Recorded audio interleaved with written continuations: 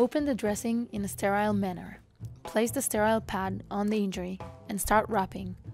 Pass it over the ear and under the chin. You must wrap it in a perpendicular manner so that pressure is applied on the bleeding.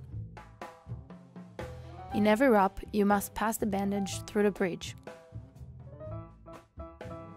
After a couple of wraps, and once the bandage is secure, change the direction in which you're wrapping by using natural sinks in the skull.